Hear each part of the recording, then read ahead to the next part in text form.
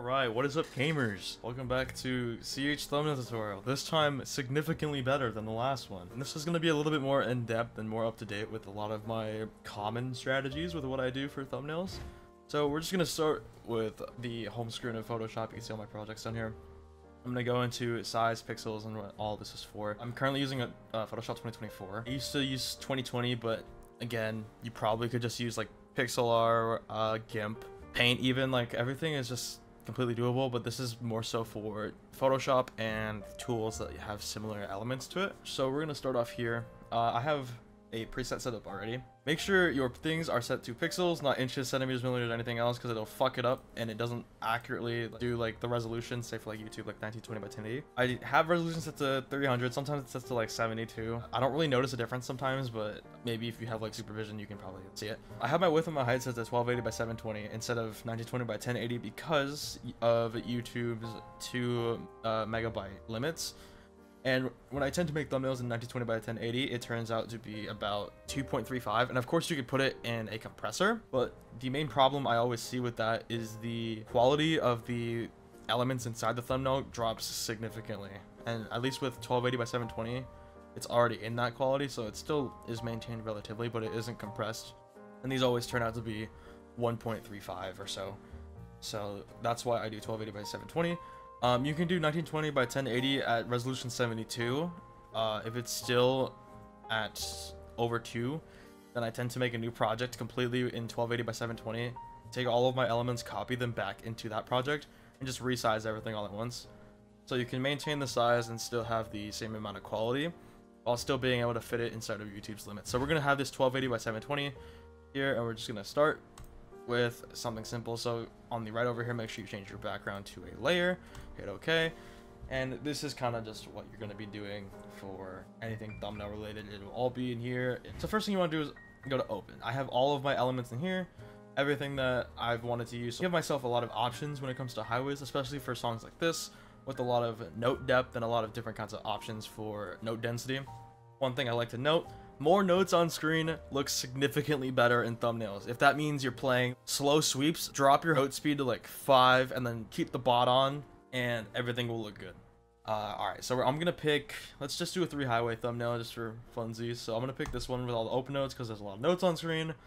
Uh, this set of tap chords and HOPOs right here because there's a lot of notes on screen and this set of strumming right here because it looks pretty fast. They will all open in their own separate things. You could do it just by uh, taking one and throwing it in here and doing the thumbnail crop method make sure this is selected.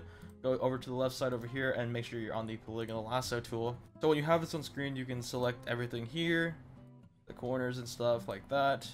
And rather than doing the select inverse here you could just go down to the bottom right over here and hit this button and create a mask um, what I do notice about these though is if you do a do with the warping, so if you try to uh, warp it, then it doesn't work. Yeah, warp transformations aren't allowed. So like if you want to like do like crazy warping for your thumbnail, say like uh, like Cosmic does with like all of the turning and stuff like that, don't do masks. Instead, just do it like this with separate files like this because you can always uh, revert them and you don't have to save it as like a project. So I'm going to crop these highways and I will see you guys.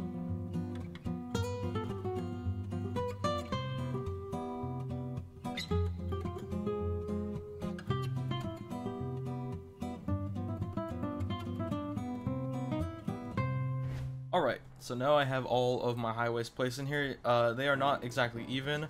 Uh, one thing to note is that you always want to have, especially your side highways, to be even. We have all of our layers. Things I do suggest you do is go to the bottom right, create a folder here, and then title it highways so you can have something that tells you what is where. We're going to move all of these into the folder so it's easier to organize. So we're going to take our top highway first.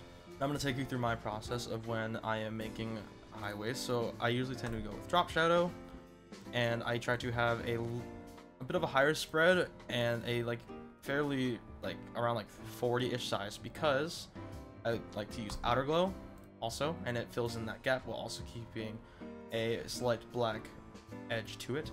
So for this, I usually do sometimes super short so you can get like that slight glow, sometimes a little bit more so you can get a little bit like thicker of a glow, but we'll just stick with that for now.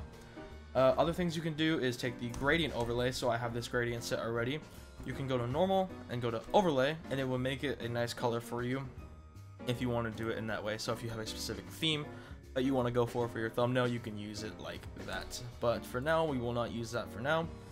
Uh, you can also do an inner glow, which is something I do to make uh, highways a little bit brighter. So you can set the color to white and then make it overlay once again. It'll make it a little bit brighter, not too much brighter than you need to. You can always increase the size to make it super freaking bright, but we don't need to do that right now.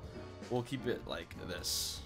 So I'm going to repeat it for the other two highways. It's just two simple things, just like this. Drop shadow and outer glow. And I'm just going to do this, a little bit of movement to make it more organized. So, big part of the process is finding a background that would be good to use. So depending on the song you want, it could always just be the album but with some Gaussian blur on it or just a random galaxy background. Anything tends to work because it's just the background. What you want them to see is usually on screen unless the background has an element that makes it look really cool. Um, there's an Ed Trio thumbnail that I saw that has like a character peeking through the wall. I'll throw it on screen right now so you can see exactly what I'm talking about. But these elements are what is pretty important for this kinds of thing. So I'm gonna just take a uh, a random background that I have. I'm scrolling through my downloads real quick. Uh, I'm literally gonna use an old thumbnail. Okay, this is my old Hanukkah thumbnail. This will be the background for our thumbnail. So we're gonna throw some Gaussian blur on it, and once again, it just disappears. You can put it higher, at something like that for Gaussian blur, but for me, I'm gonna do motion blur to give it a little bit of motion. You can't really see exactly what it is, but it still fills in as a background.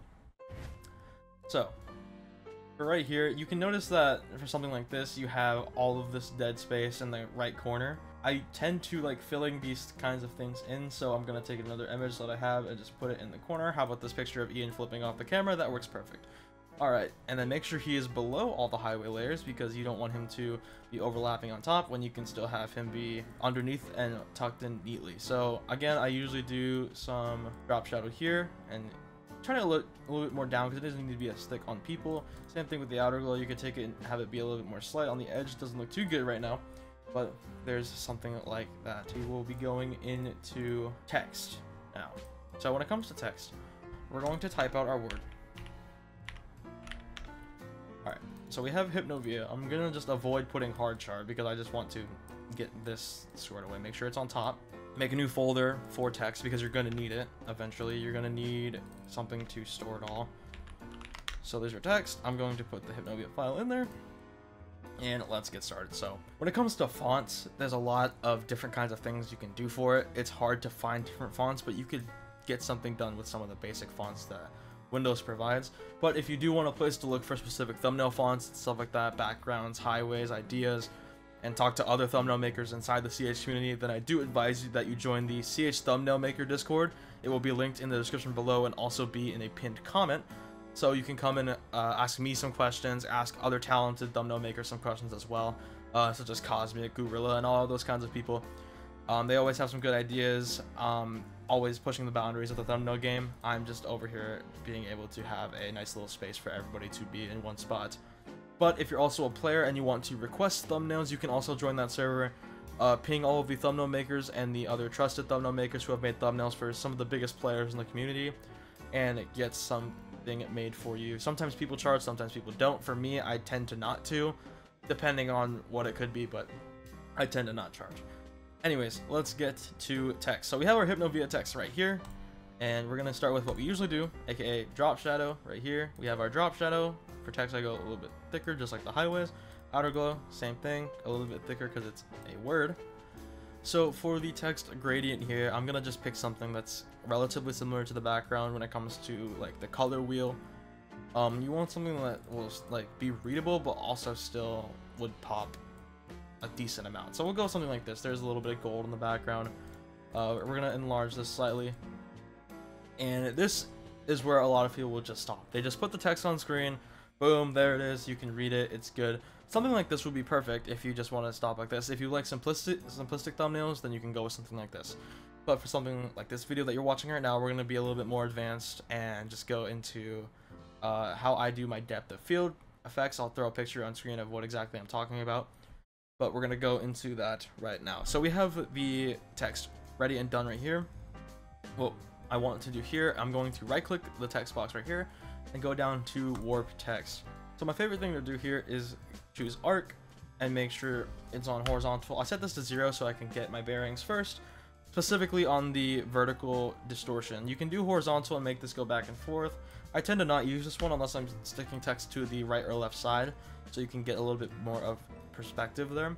But when it comes to vertical, you can always go up, you can go down. In this case, let's go down because I did it up in the previous thumbnail. So we have this right here. And it's already got that little bit of a downfold, so it's a little bit cooler. So you can do like bend stuff if you want to as well. Uh, for this, I'll do like a slight up curve and then bring the text down a little bit so it's a little bit easier to read and still takes up space without clipping through the edge. So now it's sized up to be uh, in the center now. There it is, there's that. So I'm to get into what I do for text thickness. So I'm going to take this layer right here, hold Alt on my keyboard, and click it and drag upwards and you can make a duplicate copy. You can also right click and hit duplicate layer right here and it works exactly the same. So what I tend to do when it goes downwards, I tend to pull the text down so it's all over the top and then get rid of the drop shadow of this one so it's just like this. And you want to make sure you have this movement tool selected and then take arrow keys or anything like that and just push it up into the section. It creates a little bit of thickness for the text and makes it easier. There's definitely easier ways to do this, but this is how I've known how to do it for the three years I've been making Clone Hero thumbnails, both good and bad. So we're just going to keep repeating that process. We're just going to keep pulling one out and then moving it down, pulling one out, moving it down, etc, uh, etc. Et so we're going to go that right there. So once that's done, we have our four layers here. I'm going to add a fifth one, okay? This fifth one will serve as a little bit of boldness to it. Some people do like the whiteness of this text, or for me, I do like adding a little bit of a poppy texture to the front. So I will choose this stroke to add on top of it while still having the white layer, but having it pop out a little bit more with the black outline. And just like that, there's your text for this. I'm gonna move uh, Ian down a little bit. He's not in frame now I think about it. He is completely in the folder. So I'm going to move him below the folder, and then the background is also in the thing. Okay, there we go. So I'm going to take him and I'm going to move him down slightly so you can see his face. You want all of your elements in here to be viewable, at least. So we're going to go back up to the text, and we're going to go back into the SFX. You can do this a little bit earlier on if you want, but I tend to do this first. So I have my top text element, because I don't put it on every single one. Uh, bevel and emboss is really nice to add certain things. Uh, you can play around these with these settings. Um, I tend to use either inner or outer bevel, but inner bevel is what I've been using recently. Contour is good for adding some boldness to the text. I'm going to just show you every single option so like you can see like the edges are coming out a little bit more. Get a little bit of pop, so we'll do that one uh, for now. So, and then texture, there's a bunch of these different patterns. Don't ask why there's so many of these tree patterns in here. I'm not too sure why. Uh, but I tend to use one of the three water ones that are in here, so something like this in the middle. And I don't want to make it too overbearing, so I tend to turn things down so it doesn't look that much. But it gives it a nice little texture that gives it a little bit more of a pop and also more like depth to it on screen. So there's your text, there's your highways and stuff like that. You can also take your highways and go into the top bar over here, go to filter, blur, motion blur, add like a little bit of blur to it. I usually tend to go around seven or so, and you can get a little bit of blur behind your highways. So I'll just do that to each of them uh, for consistency, but it's just what I tend to do. Okay, so you have all of these elements here. You have everything that you can have on screen. So I'm going to show you all the strategy that I've been using for about a year or so now when it comes to creating thumbnails and having specific elements on screen. So what I tend to do is I take any kind of galaxy background with like pixels and stuff on screen. I'm going to use this red one that I have here. It's just a red galaxy background that I have in my folder. Um, if you like this photo, I can just give it to you in the CH Thumbnail Maker Discord. So I tend to make it full screen right here and focus specifically on the red parts. But for this one, I will focus a little bit more on the bottom and have the purple be a little bit more of the focus here. So the purple will overlay the highways. So we have this right here, and what you do is go over to where it says normal, or you can right click and go to blending options, and then change the blend mode, keep scrolling up and down and see what looks good to you. It is completely preference based on what you want the, your thumbnail to look like. Um, it's always up to you. You can just change the hue of the highways. You can always just do stuff like this. But for this specific thumbnail, I think I will be using uh, overlay. So we have overlay here. You can take away the blues and give it a little bit of a different texture, the greens, of course, and the reds. You can do a combination of the two, so this is purple. So I actually do kind of like this. So I think I'm going to keep it like this with just only the green active. Now, if it looks a little bit too overwhelming for you, you can change the fill opacity to make it a little bit less. So say like the highways are a little bit too dark for you, you can make it about like 60 or 65 depending on what you want. Again, this is all preference based. And if it's still a bit too much, you can always turn down the opacity a little bit. But I think this being at 60, or we'll go 65 for the people, uh, will be perfect for this background. So when you have it set up like this, lock it in place, it's all good. You don't need to worry about it anymore. Uh, this is already set in stone, gives it that nice little overlay. So that's the first thing I usually do, but the strategy that I use the most all the time, and it sounds so freaking stupid, but is quintessential to some of my thumbnails because it makes it look really good for no reason. What's this? This is an, a United States of America quarter PNG. Now, what I like to do, what I like, like to do for this, shout out to Ian for having this uh, idea and turning it into reality. And then I kind of just built upon it a little bit. You zoom out very far, because you need to zoom out really far for this. Take the corners, blast it all the way out. So it's like this. What you're looking for is the president's hair. Because it has all these edges, you might notice this now if you look at my thumbnails. There are these little edges that kind of add uh, to the quarter, and it's almost like a like a three-dimensional thing. But in this case, if you keep it on top of everything, which is what you should do, lock it in place. Once you're done placing it, change from normal to divide, and you have the lighting overlay that I always have in my thumbnails. You can always move it around, see what would work for you, and then you can always take your eraser tool and erase something that could be out of place in comparison to other stuff. But with those two things, you can be done. And this is a completed thumbnail for me. Um, if it were me, I would add something like the FC crown, some stars, or something along those lines. But in this case, this would be perfect for anybody who wants it uh, for a Hypnovia hard FC or something like that. I would add the hard text here, but for the sake of this video, I did not. But this is basically the thumbnail process that I have for a lot of the things that I make do note that these thumbnails, while sometimes they do take very minimal time from like 10 to 15 minutes, sometimes when going a little bit more in depth for like ideas, backgrounds, highways, and communicating with the person you're creating it for, which is very important by the way, will make this process take even longer and up to like 30 minutes or so. It's always good to constantly make thumbnails because you always have to have ideas flowing and the more you make thumbnails, the more things you know and the more things you understand and the more things you learn about your thumbnail style and how to make thumbnails, how to make certain things look good, what colors match with other stuff, what highways look good, what color profiles look good in these thumbnails.